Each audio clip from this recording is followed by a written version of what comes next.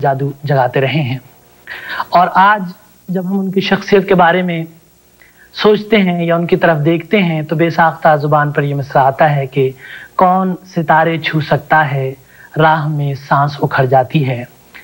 ये शख्सियत दिलीप कुमार की शख्सियत है जो आज हमारे यहाँ इस प्रोग्राम में मौजूद हैं। हम सबसे पहले एशियन होराइजन के इस प्रोग्राम में दिलीप साहब को खुश आमदेद कहते हैं। शुक्रिया। दिलीप साहब आप जैसे मैंने अभी कहा कि तकरीबन निसफ सदी के करीब आप पूरी फिल्मी उस पर रहे हैं। अब ये बताएँ कि इस दौरान लोगों ने आपको एज आइडियल देखा, एक मॉडल की हैसियत से देखा, फ़िल्म की शख्सियत के अलावा भी। होता यह है कि लोग जब किसी बड़े की तरफ़ रहनुमाई के लिए देखते हैं और उनसे कोई पैगाम के तालिब होते हैं तो आप उन शख्सियतों में आते हैं। आपके पास एक दो दफ़ा नहीं, बल्कि कई दफ़ा इस किस्म के लोग आते हैं, वो पैगाम आपसे मांगते हैं। तो ये सिमिलरिटी होती है। कैसा आप महसूस करते हैं जब लोग आपसे किसी पैगाम की तो करते हैं? वो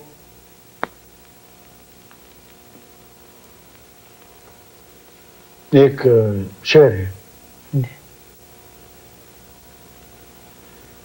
तेरा ख्याल है तेरा जमाल है तू है। तेरा ख्याल है तेरा जमाल है तू है। मुझे ये ताबिश और दानिश कहाँ कि? मैं क्या हूँ? वाह। लोग आते हैं पूछते हैं दिलीप कुमार का ज़िक्र होता है। मुझे लगता है वो कोई और है। अच्छा। वो मैं नहीं हूँ।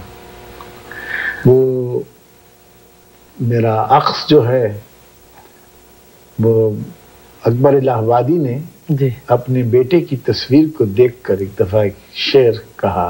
हाँ। एक मिसरा लिखा हुआ जी। मिसरा लिखा उस पर। हम्म, क्योंकि वो बेटा जब विलायत से हाँ बैरिस्टर बन के आए के खा खा तो- के सुमैयों का मज़ा भूल के। नहीं नहीं नहीं वो तो वो एक मेम साहब को साथ लेके आए निकाह पढ़ा के। घर में उनके एक इनकलाब आ गया। जी। तो उस इनकलाब से इतने बेजार हो गए वो जज थे खुद हाई कोर्ट के। तो उन्होंने तस्वीर पे लिखा उसकी निकाल की जो ऐसे रखी थी कि तकल्लुफ बरतरफ। तकल्लुफ बरतरफ। तुझ से तेरी तस्वीर अच्छी है। तो ये अक्स जो है इंसान का वो ज़्यादा बड़ा हो जाता है।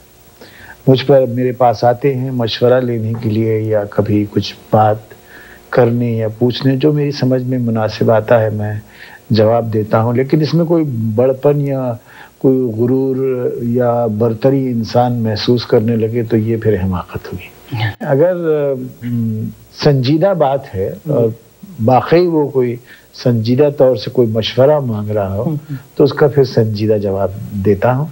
अगर कोई ऐसे ही मज़ाक या मस्खरापन करे तो या तो उसको नजरअंदाज कर देता हूँ। या ऐसे ही कोई चलूल जलूल बात मैं भी कर देता हूँ। अच्छा दिलीप साहब ये बताएँ कि आपकी पैदाइश से और फिल्मी दुनिया में दाखिले तक ऐसे कौन से बड़े अहम वाकयात हुए बम्बई से बम्बई की ज़िंदगी तो उससे बिल्कुल मुख्तलिफ़ थी। हम्म, फिर कहाँ कॉलेज और कहाँ फिल्म्स और एक यानी अर्श से फर्श पर आ गए या फर्श से अर्श पर जाने की बात है। दूसरी बात जरा से तो हाँ उसमें ये जो बचपन के जो तासरात हैं ये मैं कभी भूल नहीं सकता। आ, या स्कूल के वो फुटबॉल के गेम्स और मैचेस जो हैं और वो दोस्ताने और अपनी नानी माँ और वो माशरा हमारा उसको मैं कभी भूल नहीं सकता क्योंकि वो बड़ा बेशकीमत और बड़ा जर्रीन और खूबसूरत पहलू था वो। अभी आपने ज़िक्र किया जैसे पेशावर में जिस कस्बा खानी बाज़ार में जिस फायरिंग वगैरह का ये आज़ादी के जद्दोजहद का एक वाक़ है बल्कि रोशन बाब है हमारी तहरीक आज़ादी का। तो आज़ादी से पहले जो है आपने कैसा महसूस करते थे मुल्क को आज़ादी दिलाने के लिए आपने? नहीं हम बहुत छोटे थे उस वक्त। अच्छा, उस वक्त ये एहसास नहीं था कि क्या है। अलबत्ता ये इसका ज़रूर पता था मालूम था कि अंग्रेज़ों की हुकूमत जो है वो हम लोगों को गवारा नहीं है। और अंग्रेज़ हम पर हावी है। और हमारे विकास विकार पर को ठेस पहुँचा रहा है उससे मुल्क की जिल्लत और तजलील होती है। क्योंकि हमारे घर में मेरे अब्बा का मरहूम का के, के उठने बैठने में नशस्त बर्खास्त उनकी मौलाना मोहम्मद अली मौलाना शौकत अली और बाद में मौलाना आज़ाद तो कांग्रेस में थे। खिलाफत मूवमेंट में मौलाना मोहम्मद अली और मौलाना शौकत अली थे मौलाना मोहम्मद अली का फिर इंतकाल हो गया था। मैं बहुत छोटा था अच्छा, सवाल बहुत बच्चा था। तो वो माशरा जो है हमारा उसमें बड़ी हरारत थी हम्म। और बड़ा खलूस था। उसमें एक विकार था। आ, वो विकार अब कहीं मुल्कों में नहीं है। आई थिंक इंटरनेशनल पेट्रियाटिज्म का की एक रंगत बदल गई हमारे मुल्क में भी इंडस्ट्रियलाइजेशन आ गया और इंडस्ट्रियलाइजेशन आने की बजाय के आने में आने की वजह से बजाय इसके कि इंसान के जहनी लेवल उसका तरक्की करता माशरे का एक इरतका होता एक नए अच्छे माशरे का हम्म। लोग तंग नज़र और तंग जहन और तंग दिल होते जा रहे हैं। ये इस माशरे का ये एक घुन है इसमें। दिस ये जो इंडस्ट्रियल सिविलाइजेशन ये वेस्ट में भी यही है।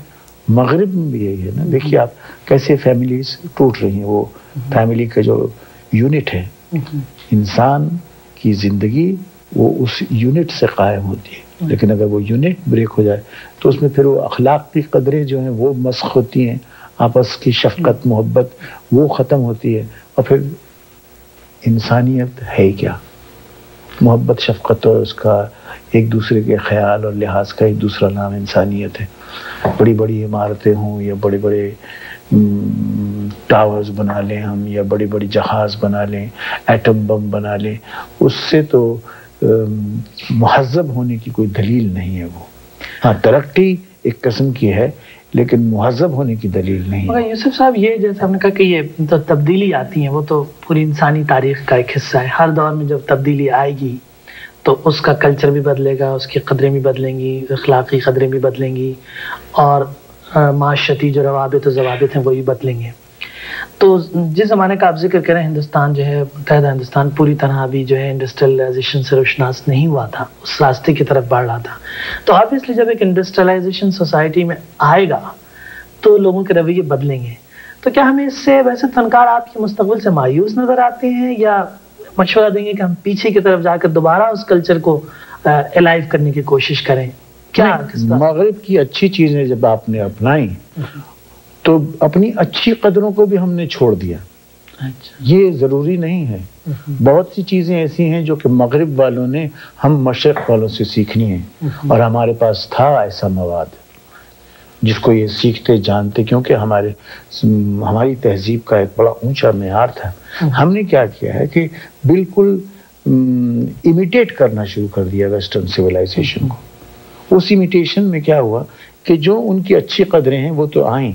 लेकिन अपने माशरे के हुस्न को भी हमने डिफेस करना शुरू कर दिया। और इस बात का अगर हम ज़िक्र नहीं करेंगे डिस्कस नहीं करेंगे आपस में तबादला ख्याल नहीं होंगे इस इस इस मसले पर तो उस चीज़ की तदारक जो है वो उसकी तहरीक भी शुरू नहीं होगी। एज एन आर्टिस्ट मैं ये बात कर रहा था। जी हमें बड़ी दिलचस्प बात कही है। हाँ। यूसुफ साहब ये बताएँ कि अपने जब जैसे आपसे गुफ्तु से मुझे अंदाज़ा हो रहा है कि आपके जहन पे कुछ ऐसी शख्सियतें बड़ी शख्सियतें मौलाना मोहम्मद अली जौहर अबुल कलाम आज़ाद और इनका ज़िक्र किया। तो फिल्मी दुनिया में जो ये चालीस साल पैतालीस साल का अरसा रहा है इसमें आपकी बुज़ुर्ग नस्ल जो थी उसमें और आज की नस्ल में कैसे फ़र्क महसूस करते हैं? फिल्मी दुनिया तक अगर उसको महदूद रखें तो। हाँ वो नस्ल जो थी उसके रॉ मटेरियल पर आप आ जाइए कि वो नस्ल किस किस ज़मीन पे खड़ी हुई थी। जिस ज़मीन पे खड़ी हुई थी उसमें मुंशी प्रेमचंद और शरद चंद्र चैटर्जी हाँ। और बंकम चंद्र चैटर्जी टैगोर इकबाल जोश और कन्हैया लाल कपूर सादत हसन मंटो इस तरह के लिटरेरी लोग थे। हमारे पास एक तहरीक लिटर लिटरेचर की निकल चली थी।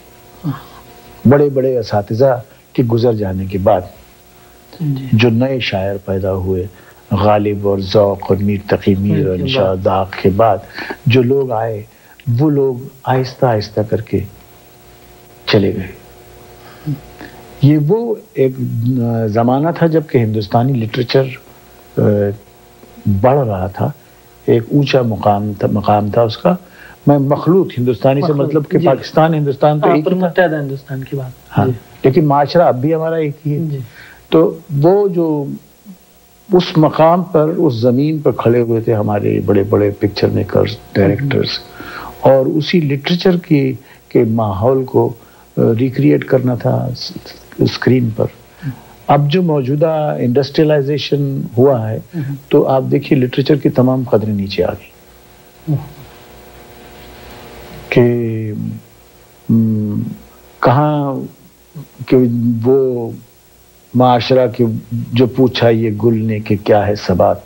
कली नहीं सुन कली ने सुनकर तबस्सुम किया। मीर तकरीबी कह देते हैं। और आजकल ये है कि हम्म, हम्म, वो लाश लटका दी मेरी कातिल ने घर के सामने। लाश लटका दी मेरी। मैं सुन रहा था एक दिन। अच्छा। एक कवाली हो रही थी मुझे मेहमान खसूसी के तौर पर बुलाया गया था। हाँ। और वो गा रही थी कि लाश लटका दी मेरी कातिल ने घर के सामने। कुछ तो बेदात को रखा नज़र के सामने। लाश लटका लाश लटका लाश लटका लाश लटका। तो ये जो हम्म, तनजुल हुआ है हमारे माशरे को ये लिटरेचर का है क्योंकि लिटरेचर का फुकदान है हमारे पास मौजूदा निसाब में कोई एजुकेशन में भी। अब देखिए लिटरेचर को कितने स्टूडेंट्स लेते हैं क्योंकि लिटरेचर में रखा क्या है? लोग बाग यही कहते हैं फैमिली ये कहती है कि वे बड़ा बड़ा बैरिस्टर बने या डॉक्टर बने या चार्टर्ड अकाउंटेंट बने या कंप्यूटर्स में कुछ सीखे या कोई इंजीनियरिंग का कोर्स करे जिससे कि घर की आमदनी बढ़े। एम ए तो बेकार फिरते रहते हैं नौकरी मिलती नहीं है। तो इसलिए वो लिटरेरी टैलेंट भी खत्म हो गया। और लिटरेचर को बिल्कुल उसी तरह जैसे कि खेती की नशो नुमा होती है ना उसको सींचा जाता है उसकी देखभाल होती है। वैसे ही लिटरेचर को भी सींचा जाता है। हम मकान बनाते हैं सड़कें बनाते हैं मिल्स बनाते हैं इंडस्ट्रीज़ बनाते हैं इसी तरह लिटरेचर भी बनाए। बाकी चीज़ें तो आप इम्पोर्ट कर सकते हैं। हवाई जहाज़ इंपोर्ट कर सकते हैं आप टेक्निकल नो हाउ इंपोर्ट कर सकते हैं लेकिन आप कल्चर और लिटरेचर को तो इंपोर्ट नहीं कर सकते। मेरी तकमीर ने का मुझे शेर याद आ रहा है उसमें हाँ। फनकारों के बारे में कि मत सहल हमें जानो फिरता है फलक बरसों तब खाक के पर्दे से इंसान निकलते हैं। तो जिन लोगों का आपने ज़िक्र किया गालिब का अमीर का इकबाल का ज़ाहिर है कि ये लोग ऐसी शख्सियत रोज़ाना तो पैदा नहीं होती हैं। मुमकिन है हम इससे नए जो माशरा जन्म ले रहा है इसमें से कोई शख्सियत ज़रूर आगे बढ़े क्योंकि इंसानियत का कारवां जो है वो तो किसी स्टेज पर रुका नहीं वो बढ़ता रहा है। तो लेकिन ये ज़रूर है कि तब्दीली बहुत बड़ी आई है हमारी।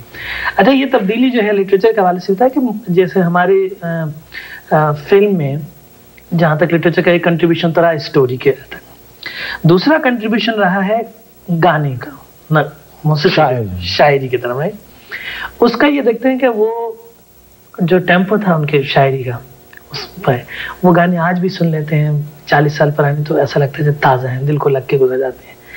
अब आज जो हम देखते हैं फिल्मी मौसीकी में तो वो कुछ ऐसा है कि जैसे छू के गुजर जाती हवा आई गाल को छू के चली गई आगे।